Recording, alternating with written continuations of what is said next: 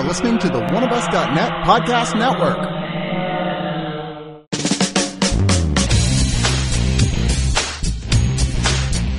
OneOfUs.net has been your one-stop shop for all things geek for years.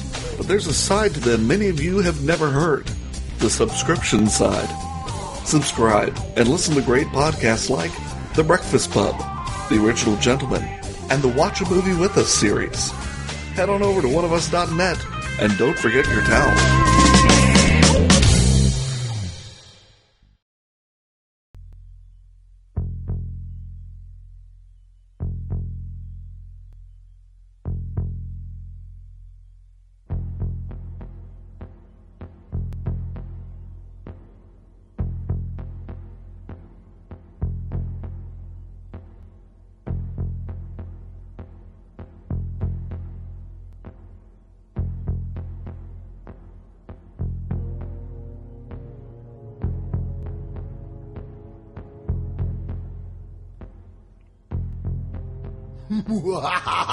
it is the deliberations of doom. That's all I got. Yeah, that was so. I didn't know that was creepy. gonna happen. Oh my gosh. Episode seven? Question mark? I think it's seven. Okay. I think that's right. Really? yeah, this uh, as we do, as is our want, we switch back and forth from like uh, idea that goes across multiple types of horror movies to a creator or a singular person, and this is our singular person episode. In which case, we are we'll be talking about the legendary. And sometimes legendarily disappointing John Carpenter. Now. Well, let's be honest. His Twitter is literally uh, ma- horror master. Yeah. His his Twitter I, okay. And who would dispute that? I'm, I'm okay with that. No one on this couch. says a lot about the man. They are on a different couch than us, by the way. multiple don't have a couches. There's multiple couches. In There's the more than one couch in here, and one couch is uh, Dissenting couch. is Fan Carpenter wearing matching. Well, not matching, but Carpenter. Choose your t-shirts. side wisely. Uh, but going around because this is the first episode we're opening up to everyone for free. You can listen to, and now if you're listening to this, you can go back and uh, find, check out. You can, you can just go on oneofus.net and put Deliberations of Doom or, or do the pull down menu, and all of those episodes or previous episodes are We now are free to listen to. We're free, so you can listen to all these episodes. We have been we're free. actually we're proud of this show. We like this show. Shout out to all my friends who are finally actually going to listen to this now. Yeah. There you go. because they're I do, I do think we're biased. Oh, too cheap poor to bastards! pay. They're- I know they're too poor to pay. Uh, but you know, but yeah, this one pour a drink out for all the rich bastards who are like, "Oh man, I spent money on that I shit." know. Spent like two dollars a month on your guys' But yeah, I feel like we're intense horror movie people, and I'm Chris, patience. Philip. Russell, Rob. and we all have pretty differing opinions a lot of the time about what's good and what's bad and hard, which I think partially what makes the show fun and interesting. It's almost like it's subjective or something. almost. First off, shout Not out, on this couch. shout out to everyone but me for having stuff that just came out recently. Uh, Patience, you just had a short story published, Correct. a horror story. Yes. Um, spring 2017 issue of Dark Gothic Resurrected. It's a mature content.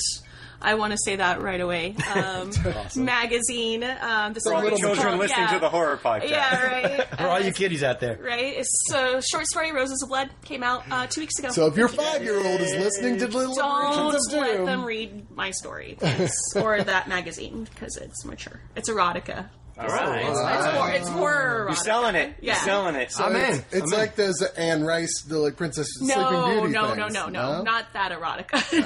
No. Fair enough. All right, selling it even more. All right, I- I'm in. I'm in. And then Phil has. Phil, Phil, yeah, you got a thing. yeah. I've got a movie coming out May 12th, uh, Dead Awake. Um, yeah, so it'll be at a couple theaters, non VOD. So Yeah. look out for that. May And- 12th. May 12th. yeah. You're, you're the director and co I'm the director. Uh, yeah, and uh, it's written by uh, Jeffrey Reddick, the guy who created Final Destination. So, uh, cool movie about sleep paralysis. Check And it out. starring one of my favorite horror actresses right now who looks like a young Jessica Harper. Oh, my yeah. God, Yeah, totally for sure. does. They keep, you know, they're talking about the new Suspiria. I'm like, that's her. Put her in that. Oh, yeah, She Jo- looks like Jessica Harper. Jocelin Donahue, yeah, you might know her from House of the Devil and Yeah. uh, Insidious So too. good. She's fantastic. Yeah. so she's great. Yeah, she's in the Burrowers too. Yeah, she's in the Burrowers. oh, as that's well. right. She Yeah. was in the Burrowers. And Frontiers. She, she's a great actress. There's a the Burrowers. That's a little callback. The guys who are maybe new to indie horror, seek that one out. Yeah, It's super Definitely. No, it's Yeah, really good. it's, it's Tremors in the Old West, Yep. basically. Yeah. yeah. So props to Phil. Good cast. Good job, Thank you, Phil. thank And then the Summers brothers here have a short that's now going around, a horror short that's going around, or a sci-fi short. Well, that's yeah. Well, going we have two. So we have one called The Bench, uh, which has screened in um, multiple film festivals, including uh, the excellent Other Worlds uh, festival here in Austin, which is a sci-fi horror fest, and. Um, That'll be online soon. We'll probably post it for everybody to check out because it's kind of done with the festival rounds.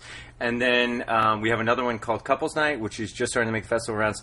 Uh, probably the next one we can tell you what festivals it's going to be in, but they told us to wait. So we got in a couple. So it's good stuff. Congrats, Yeah, man. thanks, guys. Congrats. Excited about awesome. And for me, my cats love me. That's do. my accomplishment. They do. They're like, you're great. You feed us. I mean, as much as a cat can love anyone. as much as they're capable of love. Hey, I saw a new study that says cats actually prefer companionship of their owner to food, but then it specified, well, the owner that feeds them. Let's get to the carpenter. Uh, well, we got to start off as we do every week with a review of a current horror film that came out, and this one actually just seems too perfect because of comparisons to Carpenter, which mm-hmm. were mm-hmm. inevitable, and that is the film The Void.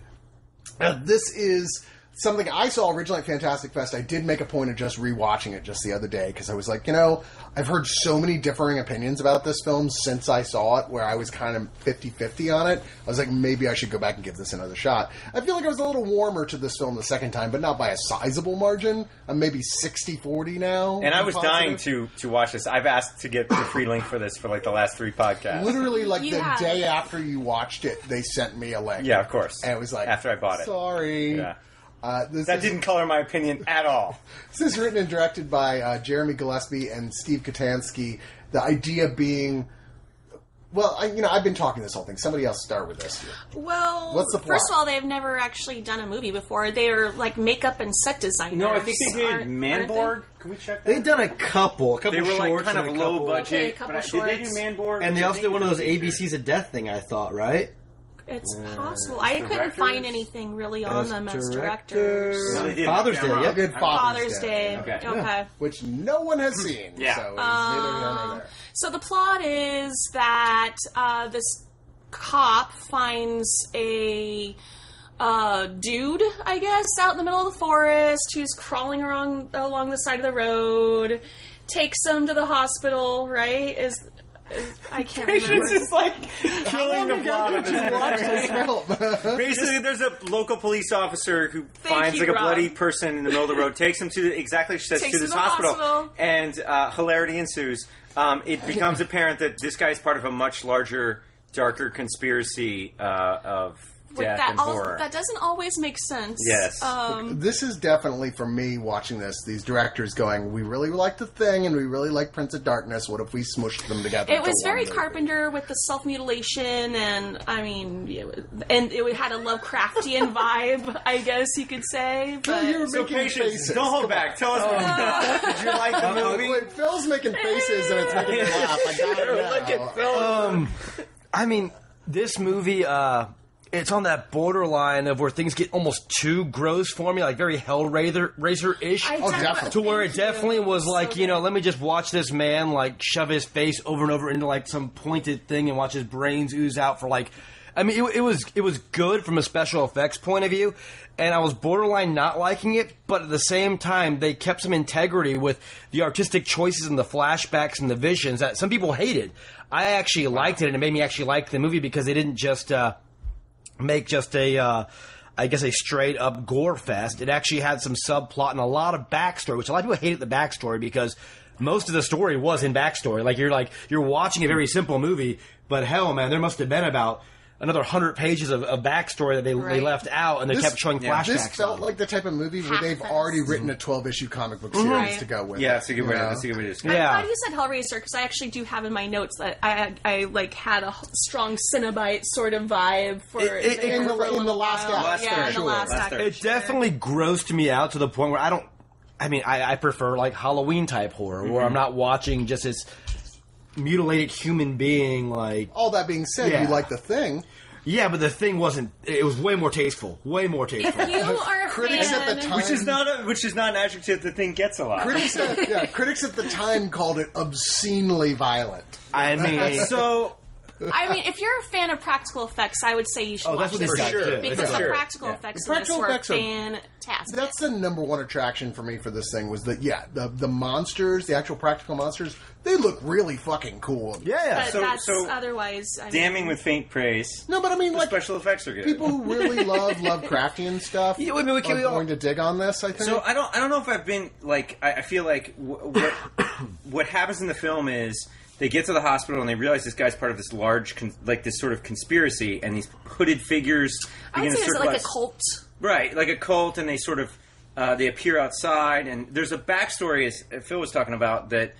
Uh, the police officer finds him. His wife work or his ex-wife works there. They've lost their child, and um, slowly they begin to realize like something is up. Like, well, I don't even know it's slowly, right? But rather quickly, Yeah. in fact. um, but I, I really, so I was really excited about this movie. I think it has a terrific trailer, so you should like check out the trailer, see if it interests you. Um, I think the people that got the trailer really got uh, the ideas that they were going for. The movie isn't exactly the trailer. I think um, my biggest complaint about the movie was I felt um, there was some confusing plot stuff. Oh, for sure. Did anybody? Okay, so I, I- There were some very muddled characters who appear about a third of the way into the movie. Right. And their motivations and their backstory are somewhat murky and are never quite really explained. Does anybody else? Because I, I just want to. I don't want to spoil too much, but there's like an older guy and a younger guy who appear at the beginning and then sort of show up at the hospital. They hospital. never explain what the fuck they're They, doing. and, they, Yeah. and they, they, they sort of imply some stuff That the is older going guy on. found the younger guy. So no one. Okay, I, I don't so know. so this is funny because I've actually talked to a bunch of people who've seen the movie. Mm-hmm. Nobody understands what's going on here because I was really like this thing like I missed something, right? Like what happened? And Russ was like, I don't know what happened. And then Uh, I'm asking all of y'all, See, and y'all don't know what I, happened. I, I kind of got what happened. Like they were attacked by a similar, like the cult thing, similarly that happened to was happening to Right. them. The old man gets away with the son, and you see like flashbacks of that later on, and they're trying to like snuff out the rest of this cult. but and he, they know is that it the his head's son? there. Because I almost felt like it was like his, his son. son-in-law. I think he's his son. I, mean, as far as what it shows, I- he's there protecting his mom or like, something in the they're literally called father and son. The father and the son In credit? In in the Yeah. yeah, in the credit. So to me- This is- that's, yeah, that's that's like literally so I feel like, characteristics. and then there's also there's a, mother somewhere. There is a twist In the flashback. about In the flashback, who yeah. is behind what would the the sort of thing that's happening, and it sort of shrinks the film scope, um, which is like, in other words, it becomes a, it's a character who you already know, and it feels sort of weird, like almost silly. You're like, this is the guy behind everything. Um, Yeah, and, and I feel like point. because it, would have just been better to. Um, make it just some random person almost, right? Am I? Yeah. I mean, like, Yeah. And instead, it's like they almost feel like they want to do a twist. so that threw me. Both those things, and I think it was a thing where I didn't necessarily mind the choice, but I kind of needed more explanation that the movie never really gives. I mean- and it's not trying for ambiguity. I feel like it's actually just it's It not either clear. got like hacked to death in editing, or the screenplay. I don't was think poorly so. written. Yeah, the editing didn't seem like the problem. I don't thi- it's not that. I think they wanted to keep a certain level of ambiguity to go with the type of Lovecraftian it But- plot, well. but it didn't quite get it where it needed He- to be. here, here's kind of like where I had my my big problem with it is like in watching a movie like Hellraiser, you have a demonic creature that brings all this evil upon you know the people that open the box. and all. You have you have that this demonic creature that is the one in charge. In watching this movie, not to give away, there's a character who maybe lost somebody mm-hmm. and finds a tome that's going to bring something back to life. And that's your goal, but all of a sudden it turns this absolute evil gore fest of demonic hell, and you're okay with that. And you're just gonna keep like keeping like doing tests on people because you missed your daughter, and you're gonna keep like keep them alive. It's and a it's spoiler alert. I mean, but you could make that same Yeah, argument I for mean, like I- Frank and Hellraiser. You're But like, I- really? So- You're still going with this after everything you've I just, seen? I, it's just so just gory okay, though. that so- how can your mind just go from I miss my girl to here's what I've I mean, created? to a certain extent. I didn't actually This should be one of my favorite movies I've seen this year. Like I love the premise. It has this great Carpenter feeling where the beginning is sort of Assault on Precinct Yeah, 13, it's- it's a- except instead of a gang, it's like this cult. it's a siege on a Yeah. hospital. Lots And the last the third thing is happening in the middle of it. and then Yeah. the last third turns into this somewhat Lovecraftian thing Yeah. uh, type uh, a story, but it's it's actually the last third was was actually stunning to me as like a, a low budget filmmaker. I filmmaker. actually thought the Like, last two minutes was the best. Well, I mean, it of the whole looks thing. amazing. It's lit amazing. You got to put an asterisk next to these guys are state of the art special effects. and- like, yeah, I mean, they work effects. on huge movies. And I think you and but and you you feel that from the Oh, film. it's a big- It's beautifully shot. The- I would say the special effects are better than movies. Oh of yeah, a gigantic. You're scale. talking about they, Agreed. they, have got a twenty million dollar like like look to their movie Yeah. because they Especially brought in that last an third, A like, list. it delivered. Oh yeah, Yeah. As Oh, much as some of the Great special stuff effects. is in the last third, the stuff that doesn't work is in the last third as well. Right. Which I think is partially falling back on a, I a thought horror was- movie chestnut where oh they're ch- being shoved into like oh this is like something that happened to you before so we can give some character background to you, but it's Hell's version of it, and I'm like. This is such an old trick, and I- we know right very from the hard to discuss everything As- you're talking about without giving away I everything. know. As ambiguous as the movie tries to be, I thought it was like uh, completely predictable. I mean, I just was Agreed. like, I mean, I literally was bored to death because I Wow, was the just, whole the whole time. I pretty much I was. Okay, bored. so because I'm a little because I want to be. I thought it was pretty, but I was bored. So you were bored. So Yeah. you don't, Chris. You were. not bored. I, I enjoyed it, but felt like, wow, this is an almost ran. There's so many little errors all throughout this thing that make it not quite work, and it's such a shame. It's almost more disappointing because it's so close to being a great horror film. It could have And been a it's, great but it has film. things that are big enough that like like wow you just undercut what was working and then it ends in an asia album cover so I almost started my drink right now. That's amazing. I, uh, Put that on the poster. I know, right? so wait. So I- did I- you like it? I actually really liked it. Only like to me, only because they made really intelligent choices with the editing. I thought I actually enjoyed some of the flashbacks and symbolism what was going on, and that made me like if they didn't have like that extra style to it, I would have been like it's just pure style over content because it would have just been like great special effects and bad storytelling. But because they did add that backstory. It let me think about the movie, and I- because of that, I appreciate it. I mean, if I had a one to ten rating, I'd give it a seven and a half, eight. I mean, I enjoyed it. I was thinking Well, that's pretty along the high, lines of Russ. Yes. You. No, I, I listen. I thought for for the movie that I kind of hoped it would be, um, I did think it kind of delivered on that. Um, It was fun. yeah, it, was, was fun. fun. It, I felt like the the special effects were really cool. There was a lot of really great ideas. The, I, I mean, the biggest problem is that the story is somewhat muddled, and I don't know that that feels intentional. So some of the ambiguity feels like a, a script problem more than 100%. Yeah, than it's sort of dir- directorial problem, and I think that's the biggest problem in the movie that sort of takes me out of it. Nailed it. Yeah, but I, I You get these guys a proper script, they're going to knock something out of the park. Totally. I and mean- I'm I listen, are- I think if you're if you're at home and you want to watch a horror movie and you're in a John Carpenter kind of mood, which I always am. um, I would watch this Unless you're movie. talking about Ghosts of Mars. Yes, and we'll get to that. and I, I felt like it scratched that itch, and, and that was enough for me to forgive the flaws in the movie, which I totally copped to. Yeah. Yeah, yeah. I bro- I mean, it's a good summation. I, I, I- I was really excited for this movie. Seeing the trailer, I, I f- do feel like Russ said. Like I was confused by some of it. They made some choices. I didn't love the lead, the cop. I mean, he just didn't totally nail it as an actor. Um, and I don't know. That's everything is his his fault.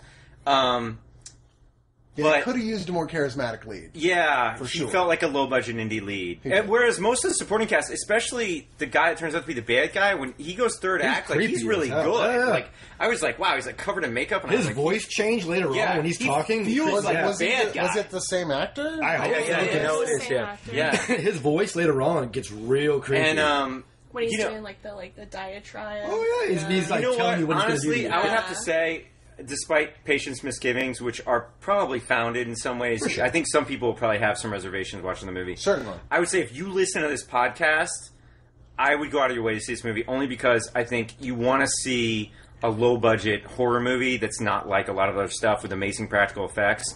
This is kind of that movie, despite its plot like problems. And Russ and I, I mean, we talked about this movie a lot. Like I was like, really? So what happened? But I but I also thought about the movie a lot. And if I think about a movie after I see it, I kind of have to say it was worth watching.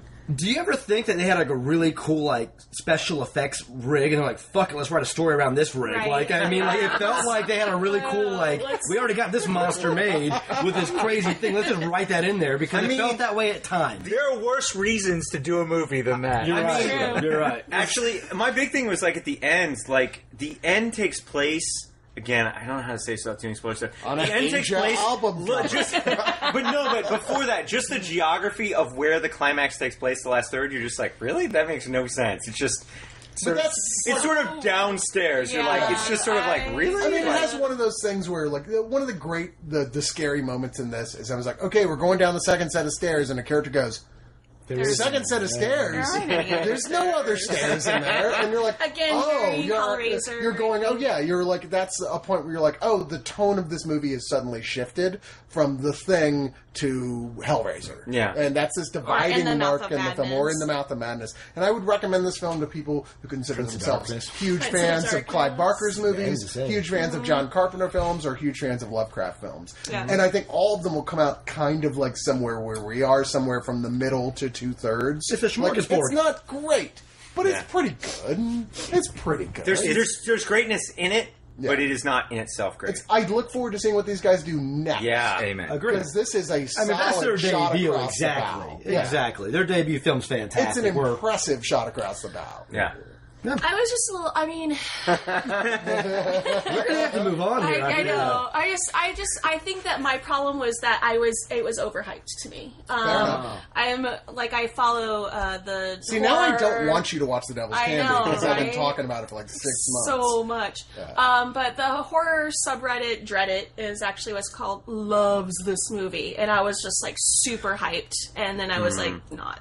So I think that's my problem. Horror fans love good practical effects. That's They do. true, Case in and I do the. That'll get you practical four to five effects. stars every time. I would watch this again just to see the practical effects. So there's I that. mean, I like it. so I would say we're seeing compared to uh, some of the other movies we've watched. You know, this is true. this- this is pretty very freaking true. good. This is way better. Yeah, than for some low of budget, ones we've seen. modern. In fact, I think this sci-fi. is the best one, probably. of the I would definitely, for sure, yeah. for This sure. was- Show this and not even close. Yeah. this we make it sound like we didn't like it. We all kind of did a little. Yeah, that's, that's exactly it. that's what I'm trying to get Yeah. to the heart of it. Like, there's a lot. It's hard to talk. It's hard to talk about this movie without talking about what you didn't like about Yeah, it. exactly. You know. Yeah. All right, well, let's move on to the career of John Carpenter. Carpenter. Summers Brothers are so happy. They've been waiting for this episode. Yeah. Uh, who went? You went to USC for for cinema, and there actually dropped out because after doing producing a short for Dark Stars, a uh, very just post two thousand one but pre Star Wars thing, he got money to make it into a feature, and he's like, "Well, fuck it, I'm done. Obviously, I, people are giving me money from Hollywood, so I'm going to go make a make a feature movie." Who needs school? Never graduated. Put that out. In Stay in school, kids. put out in 1975, Or not. which was a minor but midnight movie hit. I mean, uh, definitely something that people were talking about. Like, wow, you should go see Dark Star. It's like a parody of 2001. Um, followed up by Assault on Precinct 13, which was his shot across the bow to say, by the way, I'm a big fan of Howard Hawks, who would continue to influence his career throughout. You know, not even to the point of remaking one of his movies, Or just modeling his career on his approach. Agreed. Uh, but uh, that 1976 was a, a pretty big, like, mi- another midnight movie hit, but one that had resonance. And then he moved on to what you could still say is arguably his most important, well, not even arguably, it was his most important film. The one that resonated through the decades. Mm-hmm. It's a game and changer. Still has an effect. A game changer, which was Halloween in 1978. Oh, I've never heard of it. no, really? It's, it's, it's, It's pretty good. You should It's check set it at out. Halloween. Oh, okay. It's one of those I- weird that's movies. so strange. When I saw it the first time, I, I was like, okay, I get it. I've seen lots of Friday the Thirteenth movies before I saw it, and I was like, it's another one of these. And it wasn't until years later, watching it with a better appreciation of cinema, going, wow, this is kind of a fucking masterpiece. I mean, it's been accepted into the Library of Congress. At this point, for being uh, No, no, culturally, it- it- historically, or yeah. aesthetically significant. Yeah, they're storing it in like the salt mines to preserve it for fucking eternity. Seriously, I mean, I would actually argue that And this they is like the first Yeah. slasher, the first real slasher. Well, film. the first real American slasher. There you go. Because there's there had already I been, I think, two Italian I films that definitely think- he was borrowing from. So my my Black understanding, Christmas was also yeah, made. Black Yeah. Christmas. Well, was- you know, when he first came up with the idea with this, he approached the guy from Black Christmas and said, "I want to do a sequel to Black Christmas," and this was first in his head conceived of as a sequel to Black Christmas, and then it went way, Maybe way the off first that. mainstream slasher. Mm-hmm. That's really interesting because a lot of Carpenter's careers like influenced by something else. Oh. and like e- like everything's influ- like I mean he made like twelve Rio Bravos. Every movie, I mean, he really did. Every movie has a hundred references to other things in it. But yeah, like yeah, for sure, he's definitely a big fan of other filmmakers, and he's the first to admit it as well. But I mean, you look at his entire body of work. Halloween is his greatest accomplishment, in my uh, opinion. Absolutely. Oh yeah, Had the thing been an original concept, I say the thing would be it. But because it was a remake of Hawks, I think Halloween is the pinnacle of John Carpenter films. I mean, the thing is the pinnacle of practical effects work in a in a movie. I think. Sure. Uh, a- and I think in many ways it's like I mean influenced so much stuff that came after in such a huge way, and is only now really making its real effects felt. I think in some ways, but like Halloween. In so many, like very specific, just the way that things are filmed in horror, the concepts, the idea of the final girl, the doing. He was the first American film to, uh, other than Black Christmas, to show the, through the viewpoint of the killer. Right. You know. No, no, that's what I was going to say as well, and this is going to be an ongoing thing throughout the podcast. Is um, when you watch Halloween and a lot of his earlier work, like The Fog and Christine and, and so on, you're going to see a lot of like ingenuity in the actual cinematography and what he was doing with the camera and how he was playing with the lighting. And you start to see that drop off around 1987, and different things start happening. Like when you watch, actually, the look of the film changes drastically, and. Um, you know, we'll talk about that later as we go on. But this, to me, when you watch like it, you know, even the fog going on to the next ones, but it's like you you see a true artist director making movies who loves what he does, and he's not burnt out by people uh, not appreciating him.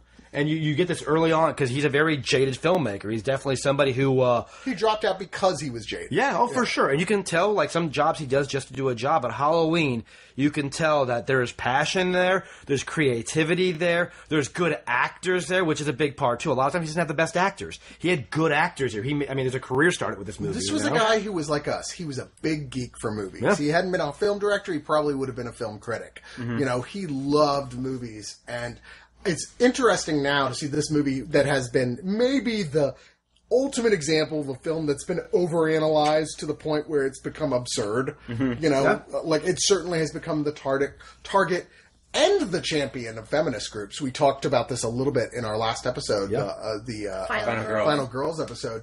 But like the idea being that it is this morality play about sexuality, Carpenter himself has said, "Yeah, you guys all missed the point." He said the one girl was the most sexually uptight, keeps stabbing the guy with a long knife. She's the most sexually frustrated. She's the one that's killed him, not because she's a virgin, but because of all that sexual repressed energy starts coming out, and she would, you know, turns around and uses the phallic symbols on the guy. I don't even. He's like, I don't even understand how you guys could picture this as being sexist, you know, which is uh, fascinating. But then he's also gone around, come back and said as well, you guys are just overthinking this whole fucking thing. It's a we set out to make a horror movie that was scary because we like scary horror movies, and we felt like that's what we did. So relax. Um, you know, it's it's funny. I think that Halloween is. It, probably, if you're listening to this podcast, you've seen Halloween. I- mean, I it- certainly hope it's, so. It's hard, but I mean, I think like it's hard to sort of get past its shadow on movies. Period. I just think it's a movie we've all seen, and so it's hard to say something new or interesting about it. But at the same time, like it's you can't dismiss it. And I think you know there's a it's basically a masterclass in filmmaking. Like if you go back and you look at it, I mean, I remember Jamie Lee Curtis was on some interview talking about it, or whatever, and she even says like, yeah, there's, the crew is really small. It was like five or six, you know, ten people. Like it really wasn't even a big people. And the guy that shot it, Dean Cundey, went on to shoot Jurassic Park. I mean, he is a Amongst many other Yeah, and not only that, but the thing, and if you think about some of the movies that guy shot, like he's a big influence on giant movies.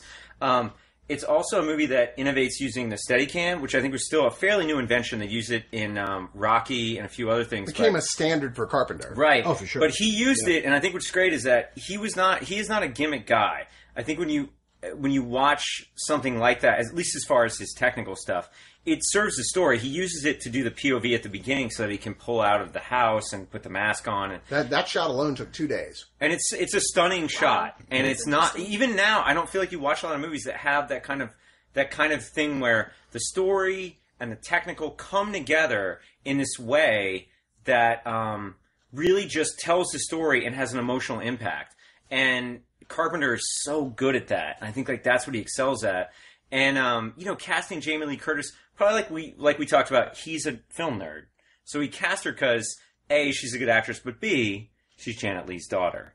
So I think all that Well, resonates he throughout the he film. said flat out like she was not his first choice. Mm-hmm. Like he and now I'm blanking on who his first choice was, but uh, another famous actress at the time. Oh, she had it never. was um, Sissy Spacek. So- no, it wasn't Spacek. It was somebody else. it was definitely Carrie. It was somebody else he had thought about though. Who was like Oh. a big actress, like Debra Winger or somebody like Okay. that. Um, but he was talked into her, like giving her a try, even though she had only at that point she was on a TV show and that was it because of who her mom was, which was kind of like, look, we're a tiny little indie film that can't hurt to have like a the one the most famous scream queen the daughter of a legend. you know, daughter Yeah. of a legend, and and the film that is definitely one of the biggest influences on this film, you know, Psycho, in mm-hmm. this movie for sure. Mm-hmm. Uh, uh, in fact, they played mother and daughter in The Fog. Right. So Which was it? Yeah, exactly. Now, now, question being, like, this movie still holds up today. Uh, when you uh, when you watch it, Yeah. it still holds up today.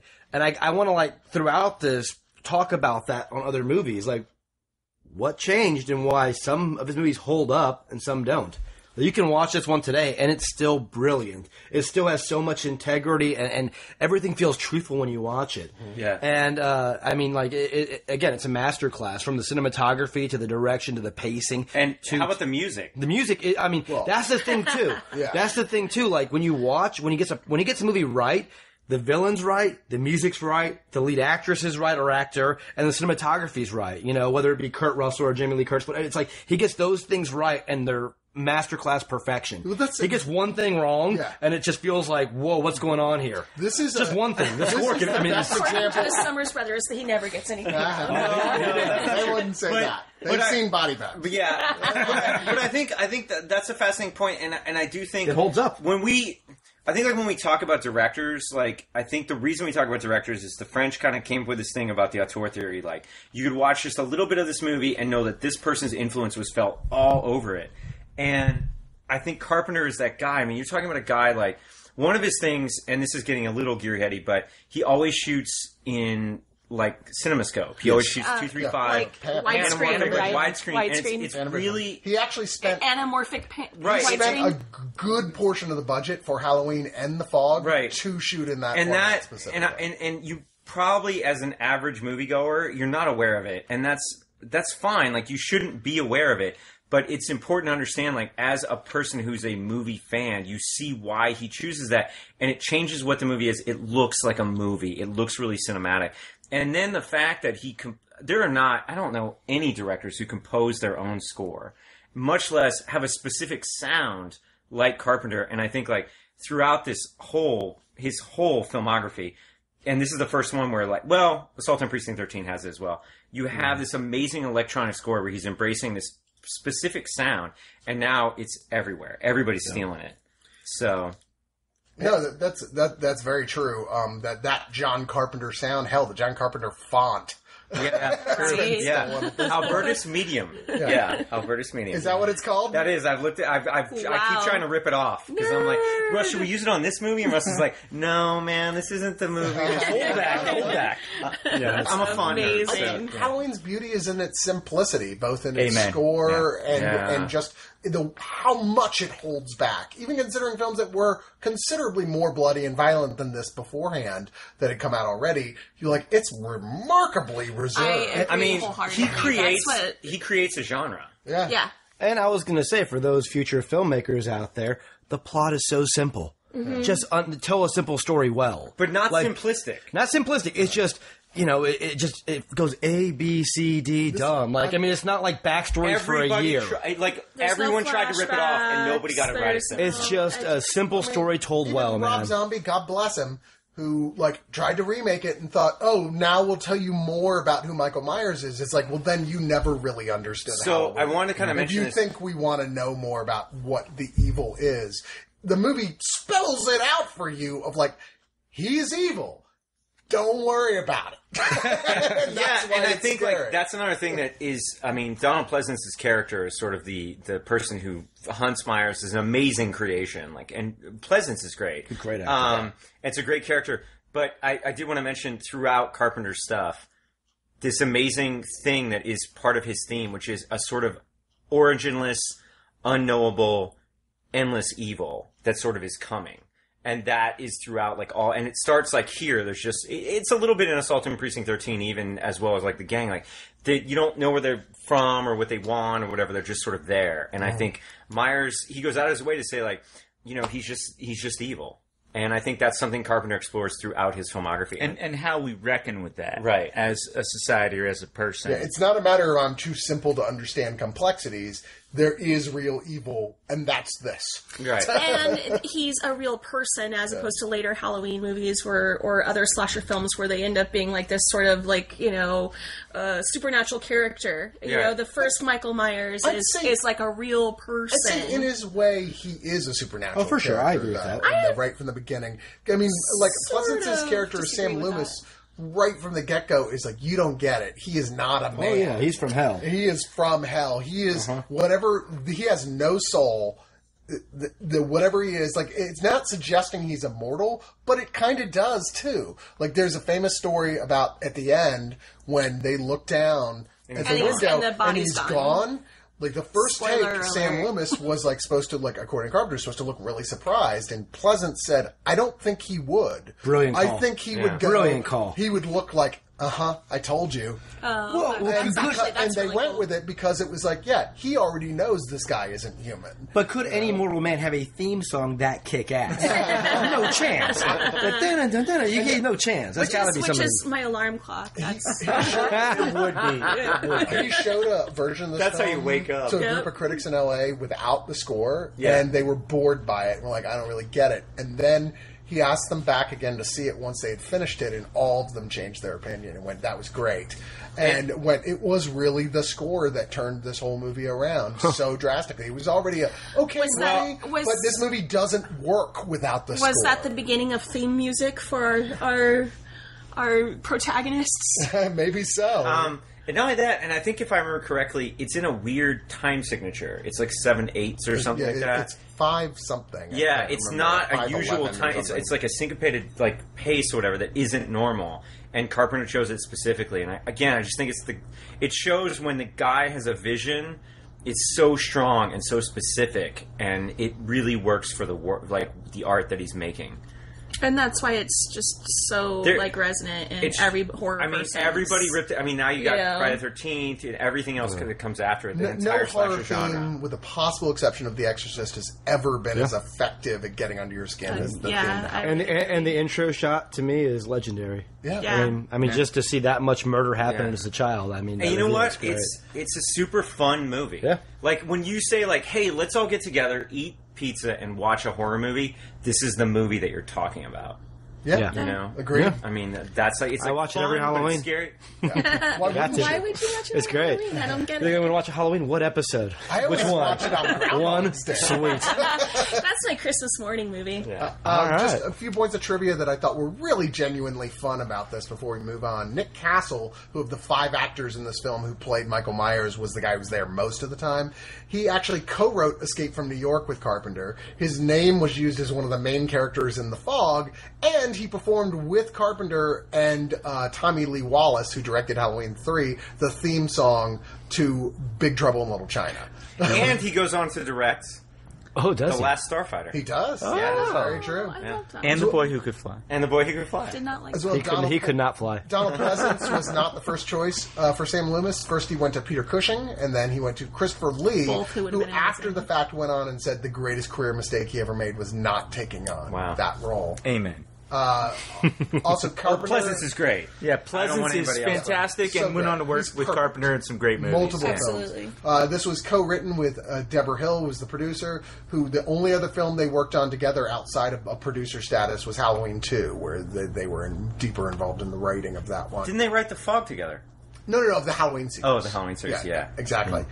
Uh, By the way, Halloween 3, totally underrated. Yeah, Just wanted to throw that in there. Oh way my overrated. I get why people at the time freaked out because they were like, Where's Michael Myers? There's nothing to do with him, but it's a solid standalone. People in the '80s film. were just wrong. In our trilogy show, we'll talk more about that. Okay. All right, let's talk about his his next horror film. Mind you, we're, because we're deliberations of doom, we're skipping past the stuff we didn't designate was specifically horror. Some of which people will get mad at us about, but whatever.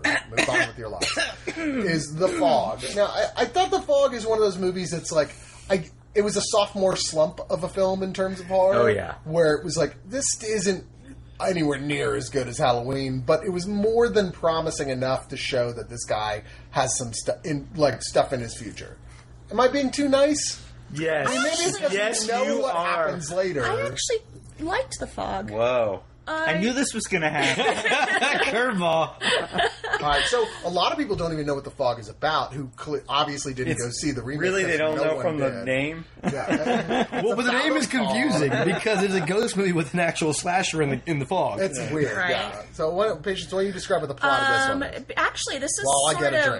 drink. Uh, okay, can you pour me one too? I will. Yeah. Um, so it's loosely based on a real story of a shipwreck um, that was off the coast of California um, that was plundered in the 19th century. So they, um, on purpose, wrecked a ship so that they could steal from said ship. And this is the story of the vengeance of those uh, shipwrecked, I guess, Spirits of the Sailors. yeah, the spirits of the sailors. Thank you. Yeah. And um, you know, a hundred years later, the small town is plagued by this fog full of ghosts that kill them. Yeah. Um. Please. Yeah. As I'm far as super excited. as far as story goes, it's not his best. And um, but as far as like you know, again, like early in his career, he was making some really cool cinematic decisions. Like even from starting like the opening shots, just this watch dangling above the sea, and an old man telling the story, and uh, children taking the story, and had some really cool uh, devices in there and cool shots. And you see like um.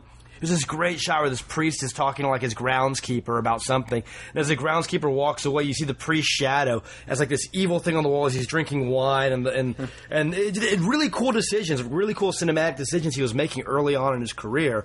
And um, yeah, the weird thing to me because it was a it's a ghost movie, but these ghosts have to knock on the door. like I mean, the fog can Thank go you through for every. up. Every, every every crevice in the building, the fog's coming through.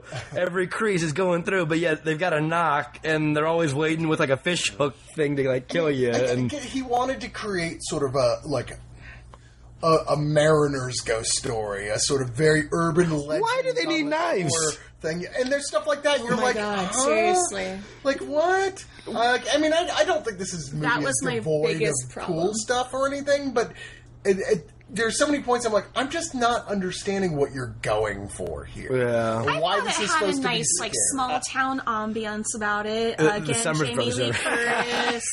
Jamie Lee Curtis plays the opposite of what she plays in Halloween. Yes. She's like a loose, like she has sex with a with the hitchhiker, the hitch- guy, the yeah, guy the- picked her up. the yeah. stuff- Tom and then Atkins, who apparently every chick in the 80s wanted to sleep Yeah. with, according to every Who- horror movie. Really, my fiance goes, "Who's the creepy guy?" He's Sleeps so with all the hot chicks. She sleeps with hot chicks. But it was, I just thought it was funny. It's like they clearly slept together, and then she's like, "So what's your name?" I was like, "What? It's Who dude, does that?" He's just, Ancient- he's just killing time. it. Dude, ladies love the stash. They just- Wait, can't we deny talking about Tom Atkins? Tom Yeah. Atkins. Yeah, he was And- playing the aforementioned Nick Castle Yeah. character in this. Um, I and want to sweet let you. turtlenecks. Okay, I can't. I can't wait to hear this. I want to one. hear what you actually have to say first, Russ. Um, I'm not a huge fan of the fog. Uh, not because I don't like fog.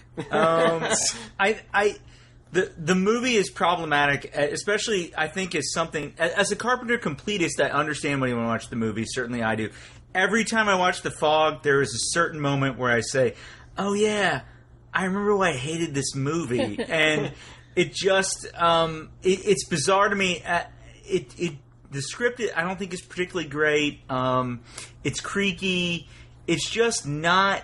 It's not sort of what you come to expect from from Carpenter. And as uh, uh, from a cinematography standpoint, from a design standpoint, it's really great to look at. Um, and I like the idea, but I always find myself wanting more, and then at a certain point, I find myself kind of bored, and I just don't want to watch it. Well, I think part of the problem is they even knew when they finished filming it that this didn't work. They had to go back and They reshoot. had Famously, they went back it. to reshoots because both both the gore. director, the writer, the, the producers were like, "This just isn't scary. Nothing which is really weird. happens in this And, I, and this Is that when they added the guy in the fog with the knife? I think yeah, I think it is actually. I mean, I It's think it is. I think it is where people start. Uh, To get yeah, no, in I the think it is obvious where there's sort of post production stuff going on. And it wasn't even movie. just They that. had to Apparently, add gore it was like afterwards. Uh, like seventy eight minutes or something. The first Oh, cut, and they were like, "This has to be Dude, it longer." feels like two hours. So they added that whole John Houseman like like framing bit with him. Well, let me tell you a story about ghosts, kids. So, That- when Which is I a great intro. yeah, it is so a great. I, intro. I watched this because my friend who was like a huge Carpenter fan was like, "Oh my god, we gotta watch the fog." We like ran home, we watched it, and I was like, "This wasn't great." And as like a Carpenter fan, I was kind of like, "What the what the fuck?"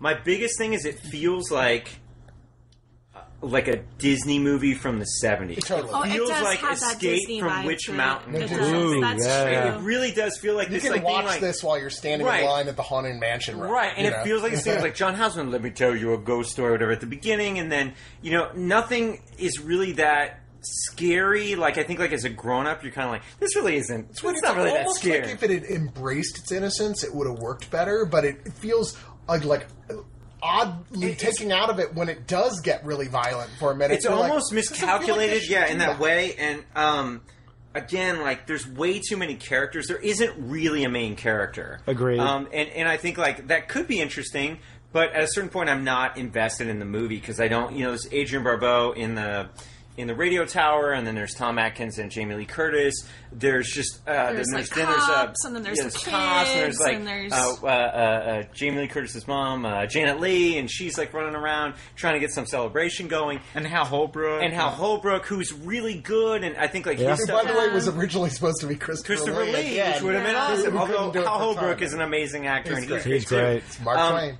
But yeah, about about like I rewatched this on Shudder for the podcast. I don't think I'd seen it for years, like decades. Like I was like, oh, watch this. Um, total snooze. I don't even know if I finished it. Like I may have finished it, but not.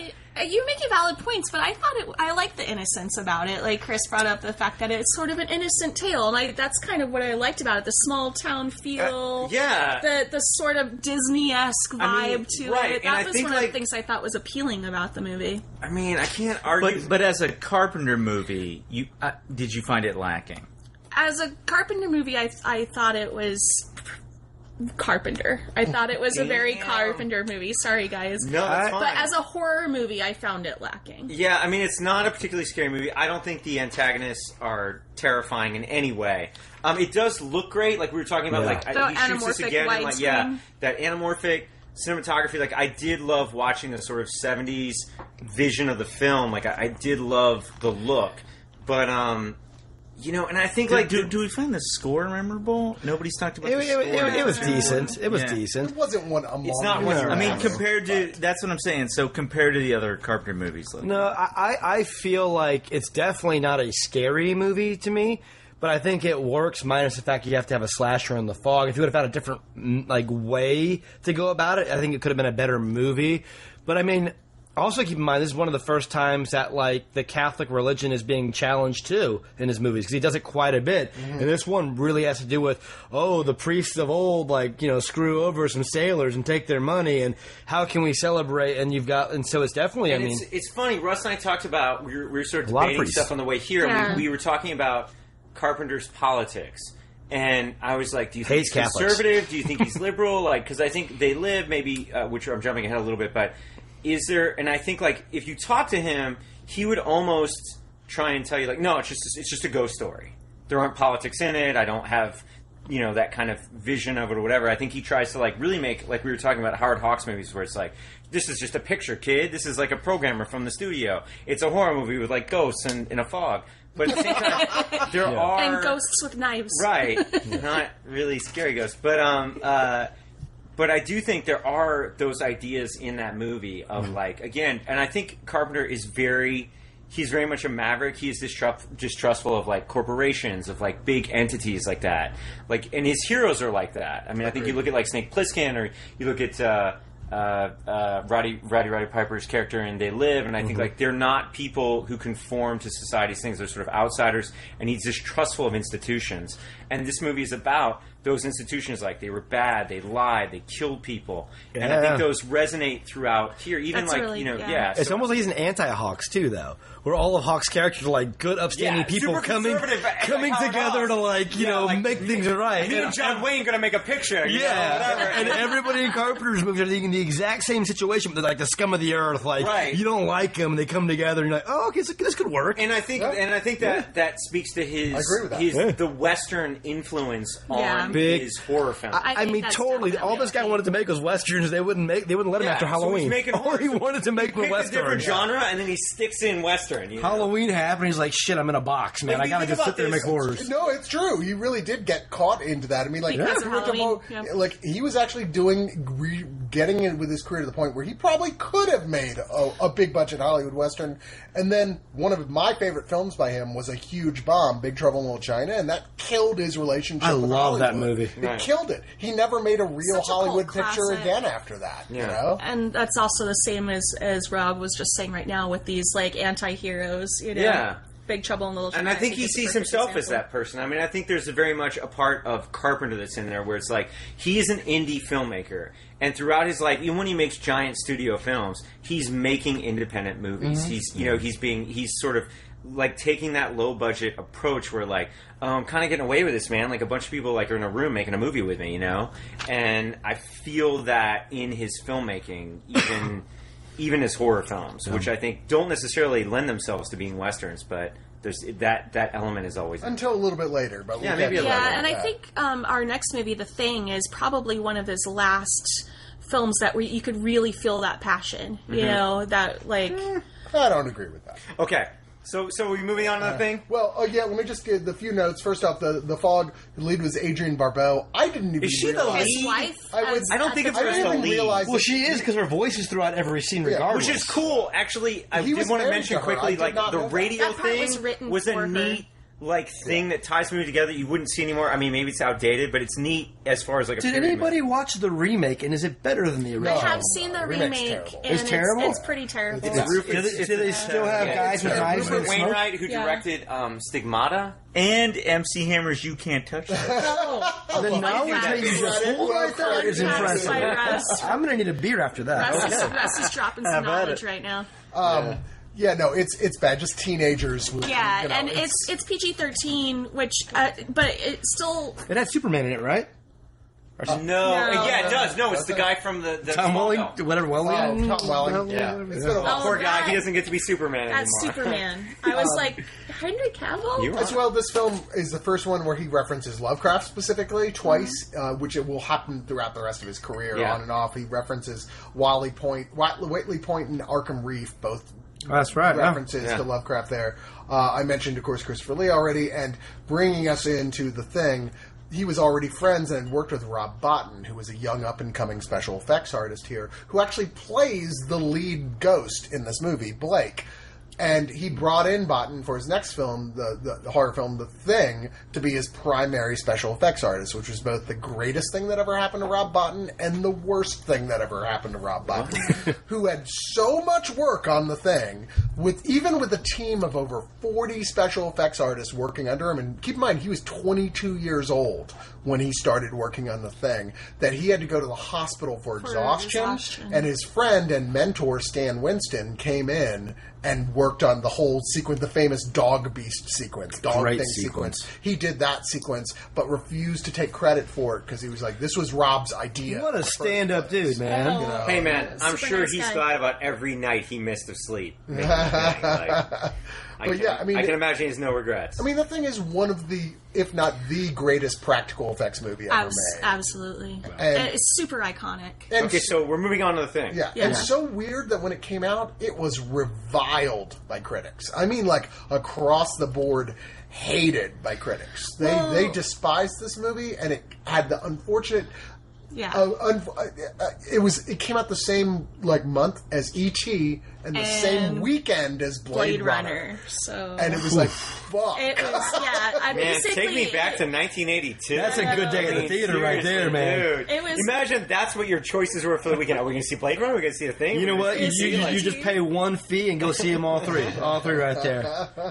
This was also the first film that he didn't score, correct? yes. Oh, yeah, he- search. Or no, He uh, brought Ennio. Morricone Yeah. brought in to score the film, uh, who of course had been a major influence on him growing Yeah. up. Westerns right there again. the. Yeah, Yeah, Western. even, He did co-write Even some though of the he did it, he was on It the is. soundtrack. It really Carpenter does sound like Carpenter music. I mean, he basically makes a Carpenter score. Look, a I minor don't trivia know. point: uh, two of the tracks that were never used by Morricone for this They used in ended up Hateful being Eight. used in the Hateful Eight by Quentin, Quentin, Tarantino. yeah. Which is such a cool like. That's kind of a Well, when you kind of a watch cool Hateful trivia Eight, again, question. Carpenter's far-reaching influence. It's basically a remake of the thing. You know, I thought it was funny as I went on rewatch. I was like, "Holy shit!" I didn't even recognize Wilford Brimley or Keith David. I'm like, "What? what? I, they were in the movie?" I He didn't say diabetes once. I know, not even one time. He was, and he was also not morbidly obese. but- Well, I, I think that, but I think that's one of the things that's uh, Carpenter's strengths, and I think one of the things that's so great about the thing is Casting. It's a, exactly. It's a whole movie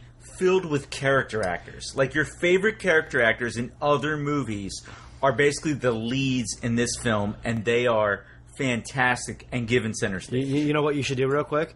You should give a brief synopsis of the thing. oh, there you go. We haven't done it yet. Yeah, we just that's jumped right about- into it. it's about a And you thing. just Automatically listen to this? assumed that. I mean, you, one of I you just got. assume you people have seen the movie. It's about a thing. Go. Wait, Russ has a rule. He every girl he's ever dated in the last like no, 15, 20 years. That's the test. Russ, what is That's the first. No, that's whenever they say You draw their blood and put it in a vial and make sure it doesn't jump out when you catch it on fire. You know what? I was going to say something. But I'm just Which was go the with what Phil test? just said. Which was the way cooler. Which was the first scene they filmed for this movie? Oh. Carpenter Wow. wanted to test it because he wasn't sure it was going to work. and then everyone's super awkward, like There not is- having like a relationship That's with one of each the other. best scenes in a For movie. sure, it's so tense. But you guys give, give the synopsis. Come on. Uh, the thing is about um, a uh, crew of, I guess I would say, scientists and their It's support team, yeah, who are in um, Antarctica uh, right before winter, and they um, encounter uh, an animal from another site, which is down the road in Antarctica. Which you'll know if you watch the terrific prequel. Oh my god! Uh, God, thanks for bringing that up. I Uh, hadn't thought about that. That uh, that may or may not contain an alien being You just ruined that it. is a shapeshifter, and uh, you can never quite tell who or may or may not be this alien uh, entity. yeah, that's pretty good. That, that was that was. That's what I do. And this, of course, is the first chance he got to remake a movie by Howard Hawks, his biggest. Although. Howard Hawks did not technically direct it, he produced it. I wasn't clear on that. Yeah, Okay. it's uh, it's it's his, The Thing from Another World, Christian- which, by the way, is the movie they watch in Halloween. It is indeed. Um, uh, and not a not a bad I mean, movie. you guys, if you haven't seen the the thing from another world, we went to go check it out. We saw it in the theater. We got lucky. I've lucky. still never seen the original. It is I have not. very cool. It's a really cool. Um, it's it's similar in the sense that they're they're sort of isolated in this thing. The thing is more like a Frankenstein type monster, but as far as like low budget 50s sci-fi, it's great. And there's an amazing effect where they set the thing on fire, and it's all practical. It's really terrific. But So- it's a drastically different film. Than very um, very yeah, yeah. You wouldn't. You would have never envisioned this movie from that movie. And I think this again, bottle paranoia film out of a classic Cold War paranoia sci-fi movie. no. And again, that's why Carpenter is Carpenter. He saw this movie in a way I don't think anyone had quite seen. And and I want to kind of bring this up, and I think this is the first instant of it. Um, and the Void is a good example of this. Is sci-fi horror is fairly rare, and it's even more rare that it's well done. Um, to merge those two genres together is is it seems obvious, like peanut butter and chocolate kind of thing, but it's not easy to do. And I feel like the thing is this perfect amalgam of these two amazing genres. And Carpenter continues to experiment with this throughout his career, this is probably the, his masterpiece. Obviously, I mean, it's his masterpiece on many levels. Yeah. but And Probably first- even more than Halloween. I I, agree would say. with and the first as well, chapter Ross. in his self-titled Apocalypse trilogy, Yeah. which are maybe my three favorite, like on a personal level, Carpenter Yeah. films. yeah, he's- We're gonna have fun later. I know. We'll get, all right, it's Oh on. man, it's I- on. I I put on think- my boxing gloves. I, I think what I want to say about the thing is, yes, the thing was not particularly well received in its time, um, and and it wasn't until probably the mid to late '90s. I remember there was a a creative screenwriting magazine, and they did a retrospective on the thing. And this is right about the time I think people had started to reevaluate the thing, started to see it as sort of the horror masterpiece that now we all just kind of agree that it is. Yeah. Um, Anybody who disagrees is wrong. is totally wrong and objectively wrong. and I, I will fight them and and so but there was a really great thing anyways this creative screenwriting done this retrospective and then i think the next issue they had the little letters column and it said some of us have been saying that the thing is a masterpiece since 1982 signed frank darabont ah, Oh, Amazing. Really? And- That's pretty awesome. It's just if that great. anybody was going to feel that way, it was going to be. It was going to be Frank Darabont, yeah. and I think hmm. I, I remember the first time I saw the thing. It certainly wasn't around the theatrical release, but it was when I was a teenager. And my friend said, "You got to see it; it's so amazing." And when I saw it, it was. It's a truly great movie. It's a great experience as a movie. It's a serious chunk of cinema, and and and so.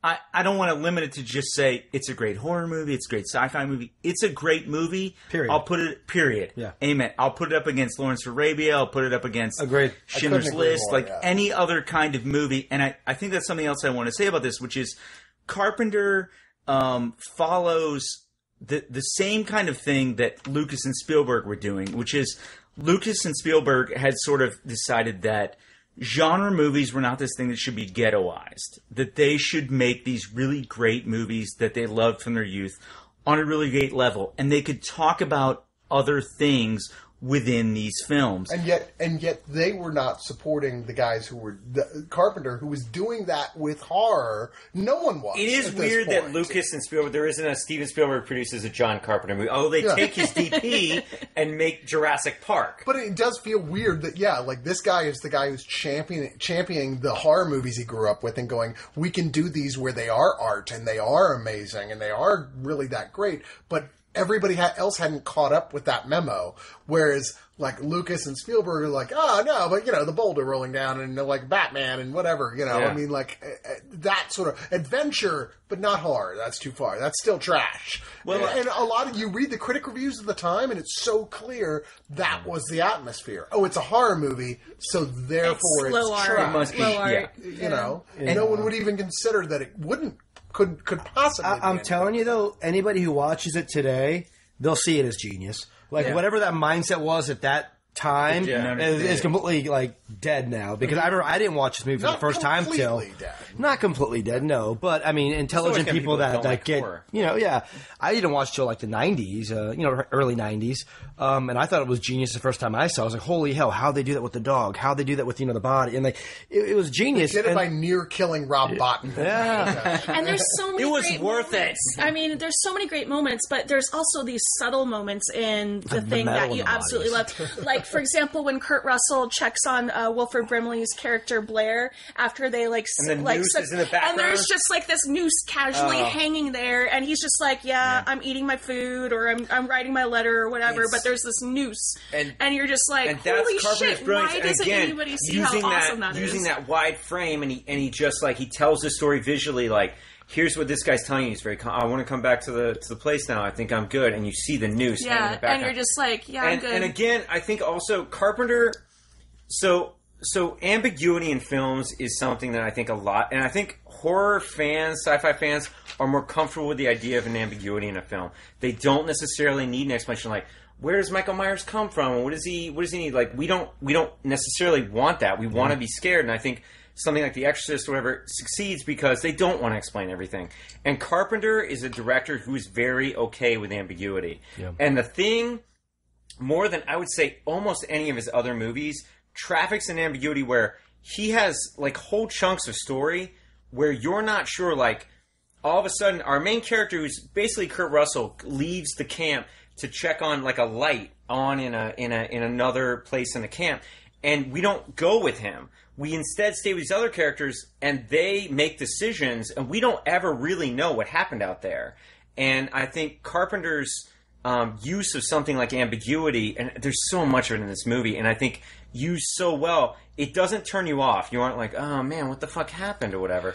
Instead, you feel the dread mounting in a way that it doesn't mount in other movies because he deploys it so well. This it's really claustrophobic. It is. Well, what I like about this film is it's you know it's again Rio Bravo in a way where it's a group of people Yeah, again, stuck single inside location. in a thing and it's freezing cold outside. But what he did that was genius was somebody on the insides was trying to kill you, Mm-hmm. not somebody from the outside. Yeah. Then you've got things like Prince of Darkness, which is both those together. Mm-hmm. Someone on the inside who changes bodies pretty much, and there's you know Alice Cooper on the The, outside. the miracle of the thing is that it worked at Also all void. because it was his first really working in collaboration with a major film studio film where it was like they didn't want Carpenter. They asked him originally, kind of like, "Well, we're just looking for somebody." He was like, "No, no, no, I'm not that interested. Like, I, I would love to do that, but I got other stuff I'm working on." And then he it came back around to where he did end up working on it. Not the first film that was that way for him.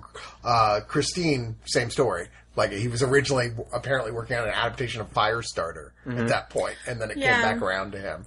Uh, Speaking of but- Christine, which is our next They movie. went to like eight different leads, like that they wanted really bad before it came down to Kurt Russell, who I think at this point was still being considered as that guy who was in all those Disney movies. Yeah. you know, I mean, shake it. it's Thank hard to imagine And that then his he was the guy of who was Russell the computer had- who wore tennis shoes. You know, I mean, Yeah. he was he was a cutesy, like uh, you know, the equivalent of like a Disney television actor in a lot of people's he's heads. so good in this movie. You know, and now you're Kurt like, wow, this guy is all of the John tough guy. yeah, it's weird. I guess you Despite have to already say- having been in Escape from New York at this point, that was not like. I mean, I guess we were kind of dealing with the beginning of the VHS era at this point, so people still hadn't really twigged in a larger sense to Russell being this badass type character. But him being cast, I think, is the key to this film. It, it- Agreed. you know, him and his silly hat. Hey, Swedes. Swedes. You know what else is really interesting? Didn't I read somewhere that Ennio's score got like a Razzie nomination? it- nominated for Yeah, Razzie for that's worst. it's Yeah. like people is- are idiots. So Guillermo del Toro I, I've read this. This is great. Did you read that? Yes, yes. Go ahead. So, go ahead. if you're a fan of this, um, uh, you should go back and I, you probably I think you can search for it because people have compiled it. Guillermo del Toro kind of went off on Twitter about Carpenter, and uh, this is probably something I should say for the end, but in a good way. In a good way. Wh- Which was he said like, why are we not celebrating this guy's career? Like he he played with genre, he did amazing stuff. There's no one who has a filmography quite like this guy. Nobody that made movies. And he mentioned going out to dinner with Carpenter and saying, bring up the thing, and saying, um, yeah, but you know, man, you made this movie and they didn't get it at the time but now we all get it. And I think, you know, he's referencing this idea that we're all talking about, like, Carpenter is so ahead of the game. Yeah. He is so seeing where the ball is going to go before the rest of us see it. Um, Which unfortunately is a recurring derails his career yeah. in a lot of ways. Yeah. Like where he's on this rocket ship and he sort of should be the next Spielberg, and instead he sort of stays as a B as a low level B movie director, which is great, but has its problems for Carpenter, obviously. And um, he was at dinner with Carpenter, which I love those two guys at dinner, right? Like who wouldn't want to be at that table? And uh, and he says, yeah, you know, but now we all get it. And Carpenter said, yeah, but what good does that do me now? Yeah. I'm sure there was an f bomb in there too. Yeah, that's yeah. sure that's it was like, probably- what I'm sure fucking good does it do me fucking now? good does that do me No, now? I feel like He's he- jaded, man. I I'm don't, telling you know, and he He's wasn't. I definitely think he's jaded. jaded, like when he's making Halloween. Like I think the guy is just a cranky How cigarette di- smoking. How different would his career be though if he had been really recognized and had got started getting Spielberg level budgets and credit, If- as opposed to what actually ended up happening, where he was trying to do the exact same thing Lucas and Spielberg were doing, but for whatever reason the studios didn't get it. And so they didn't support and the it. audiences didn't And get the it. audiences Yeah. didn't Yeah. get it. It was out of his time, and stuff he did that is now considered to be classic didn't make any money, and so he had to go back to being an independent filmmaker. You know, this is the guy that set the definition of the most successful independent filmmaker of all time with Halloween. Yeah. Three hundred thousand dollar budget made seventy million dollars in its initial theatrical run. That's like In Blair 70s money. project, like Yeah. comparison Yeah, sized but money, in retrospect, you know? look at Cronenberg. He put on his daddy pants, got back to fucking work, and made good movies. He so did. Yeah. you know what? Suck it up, But how Buttercup. different That's what I'm would I also saying. think his have been, And you I know? also think this guy gets it as far as like branding. Just like he sees the future like John Carpenter's The Thing, John Carpenter's Halloween.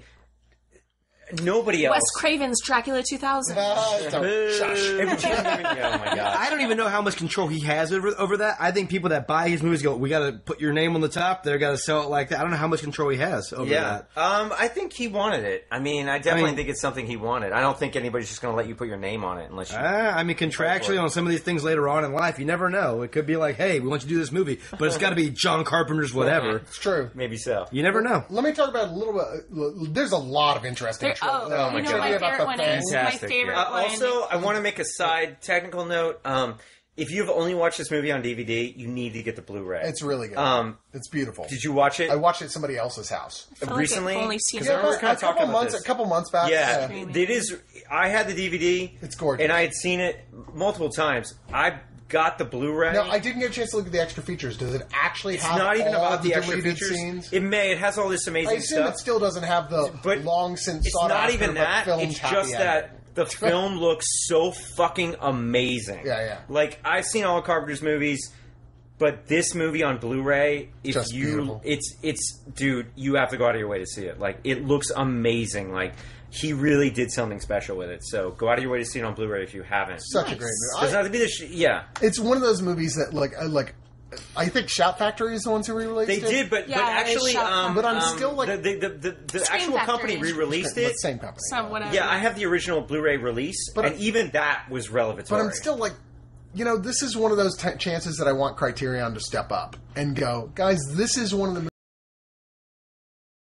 Michael Bay movies, and they're like, oh, The Rock. no, that, we're that was because there was corporate connections. but even so, They were forced to do that. really, not because I they like wanted those to. releases. But, whatever. Um, All right. But you know, that was one of those like, hey guys, force you're not a bunch of show yourself you're not a bunch of old fuddy duddies and give that same love and credit to a film that's definitely a classic like The Thing. It But, is uh, a game changer, and I think that its influence is far-reaching. Yeah. Um, all right. right, So what's our- bits of trivia? Trivia. This was written by Bill Lancaster, son of Burt Lancaster, who only wrote two other movies. Bad News Bears. And the Bad News Bears go to Japan. he wrote both the Strangely bad. enough. Dude, And the thing goes to Shut. Japan. Yeah, the Um, thing- also, I would uh, watch that. Also, side note: there's an amazing video essay where the guy talks about. Um, uh, you can only watch part of it. I think you have to buy the video essay. But he talks about the fact that Carpenter actually got stalled making the movie, and he had to rethink a lot of things. And so, to a certain extent, there's a couple of scenes where you say, "Wait, who was the thing? Was the thing this person or why?" and if you go back, he does explain Carpenter had figured out like there's sound cues and stuff like that, like people dropping keys, things like that, that explain all of that. So Oh, yeah, really Carpenter. Yeah, Carpenter really thought it all through. Uh, the only there's no, uh, No females in this movie. In fact, even behind No the scenes, women. there aren't any women. There was one Wow. lady on the set, and she had to leave. I think for like a, she she injured herself or something in the first week. So there's literally no Except for his then wife Adrienne Barbeau. yes, who, who plays was who was brought into the voice of the computer. the computer. yeah, she was the, the Major chess. Majel Barrett of the. Of Yeah. the- did they bring her in for that? Or they did that in post. she recorded in post. Yeah, I'm like, she wasn't there to like, beep, boop, boop, hello.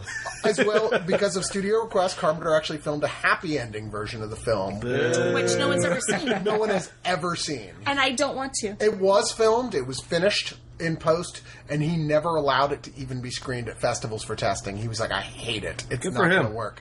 And no one's ever seen it, and he's never allowed it to be released on any subsequent re-releases of it. Watch it be genius. And One day we're even, going to see me um, like, God, it was Why genius. I know, right? And Carpenter is really good at the ambiguity, you know, the ambiguous ending. And so even, I guess, even Keith David didn't know whether or not he lived or died. and that did is not. something that yeah to this day and i think that's to me that's one of the strengths of the the thing which is uh, the the movie ends but the story goes on All right, so th- on that, there was a video game sequel that Carpenter still says is canon. Is what happens next. Strangely enough, came out in 2002. I played it. It's an okay game. It's a good game with control problems. Which I think is the reason that had turned a lot of people off because it was like points you're like, I can't move out of this corner. I didn't like think it was Resident Evil possible 1. for this podcast to get more nerdy, but, But it it just just did. did. Yeah. And the idea, and like in the last third, Kurt, Ru- uh, Kurt Russell's character shows up as MacReady, and he survives along with the main character. They're picked up by a search and rescue se- uh, team, and it's revealed that Childs froze to death, which Carpenter has said that's what happens. But apocryphally, and multiple people have reported that they've heard this. Carpenter hasn't commented one way or the other, but nobody can find a recording of it anywhere. Uh, in an interview, that at the end MacReady is breathing and Childs is definitely not, and he was shocked that nobody could tell that that was the case. Like he thought that was supposed to be super evident that that Keith David's character was not breathing and clearly was infected by the parasite. Once again, possibly apocryphal. But in contradiction to that, Keith David in interviews has said, if that's true, nobody ever told me to not breathe during that final scene. So hmm. that kind of denies that that was in fact the, the, the possible case for that thing. Just lets you know it's a genius movie when there's that much trivia, history, backstory, Agreed. things going on. Oh, yeah. You know it's a great movie. As well, in 2004, Carpenter in an Empire magazine interview said that he's had this story idea for the thing too, which survives, survive, goes around those two surviving characters. Uh, but ultimately, Universal Studios were like, okay, we're not really interested at the price tag. Even though Kurt Russell and Keith David were both like, yeah, we totally would do this completely. I'm interested. Even though it was so many years later, his reasoning was, yeah, they're a lot older, but we'll explain it by the fact that they both have severe frostbite. Um, there, there I'm is a, entirely sure that Frostbite is a plot point, but okay. yeah, there is a comic book sequel. There is Uh, a comic book Dark, sequel. from I think Dark Horse. But maybe? that Carpenter does not consider to be canon. okay, yeah, he it's not great. it's It's not. It's not considered very good. Um, like by the way, canon. interesting thing. There's a character named Mac and a character named Windows. Just throwing that out there. Thought that was kind of Boo. funny. Yeah, both of which was around were before the Macintosh was it was in fact or Windows were introduced. Is there a cat? That is some deep nerd shit. It, it, it really is. and then there's HP and Asus. Don't forget about Dell. Uh, Rainbow. As well, this is just fun. It's a long-standing tradition at British An- Antarctic research stations to watch the thing as part of their midwinter winter feast I and love that so celebration much. on every June I 21st. absolutely love That's that. been going on for kinda decades. got They it. always watch the thing. Carpenter has said this is his favorite movie of any of the movies that he's made, and honestly, I think it, it's Who could clear. blame? I mean, the thing definitely has. You can tell that's that was his passion project. Oh, Like yeah. he loved this movie. I mean, even though like when the movie was over, the only people who thought this was a good movie was John Carpenter and Rob Bottin. and Frank Well, Darabont apparently. he- Uh, well, no, again, I mean, uh, like and before it was even released, Yeah. everybody else thought this was going to be a bomb and a disaster. Well, when Del No Toro talked about it. uh, tweeted that um, that that rant about Carpenter and, and how great his filmography is, how how sort of individual and special it is, um, one of the producers on the thing, I can't remember which one it was, said, uh, "Yeah, I just want to chime in here. I worked on this movie with John Carpenter and." Um, on Monday, I showed up at his house the day after the first box office receipts came in, and he had aged ten years. I believe He it. said he did not even look like this. It was a tough shot shoot. They were like they filmed some of it actually in an Arctic location, Yeah. and some of it in a forty below zero soundstage.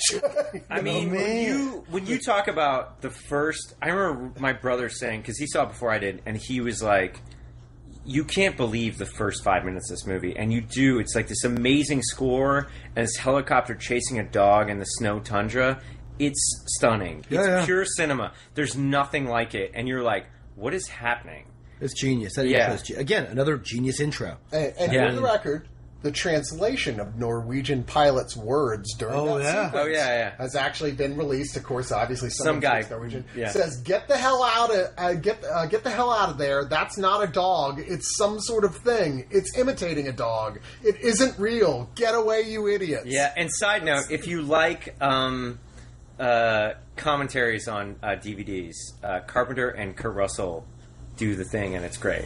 I still haven't listened to that, It's but I great. should have by on the now. Blu-ray. Yeah, it's I really, should have listened really to that. cool. Well, tell you what, we're like at over an hour. Let's break this up into two podcasts where it's like the first half of unquestionably like the rise of Carpenter, Okay. and the second half of like the middle and fall of Okay. Carpenter Agreed. for So- the second episode. Sorry, podcast listeners. Sorry. You gotta listen to both You episodes. get two Sorry, Carpenter not sorry. episodes. Yeah. You should get two Carpenter episodes because it's fucking John Carpenter. do like ten. So, so we're back to the first in our ten-part series on I'm John Carpenter. Next, we'll examine his experiences with cutting his fingernails and toenails. What was it like? How did it influence his I know. horror And Patient's movies? like, oh, the Stones must have liked that. I know. They would have watched gonna- that. the They thought it was really like, cool. So into it. But you know what I find interesting? You said he aged like ten years after that. He's looked the same for like twenty So years. sad. He looks like Johnny He Knoxville always and looked like Jackass that. when he It's dresses like- up as an it's old like man. He's got he's got brown hair and a mustache when he makes fucking Halloween, and the rest of the time he looks like he looks now. He, he looks like, a 72. caricature of an old man. Like if you were to do someone in makeup to be an old man, and Always. he's He always had always- that same That's what's look. going to happen to me That's- after Hey, part two. don't I was just smoke, gonna say, kids. That's what Don't I'm going to look freaking like smoke. after this podcast. Yeah, yeah. when you're done.